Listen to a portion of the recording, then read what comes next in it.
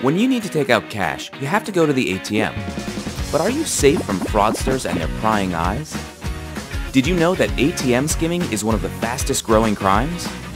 Now, you can use cardless cash instead, right from your mobile phone. First, log into your banking app, in the privacy of your office or home.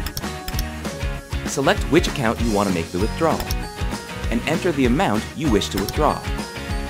Your withdrawal is queued up and ready to go, and you're directed to the nearest participating ATM. Select cardless cash from the options at the ATM. Scan the QR code with your phone, and you're good to go. No cards, no hassle.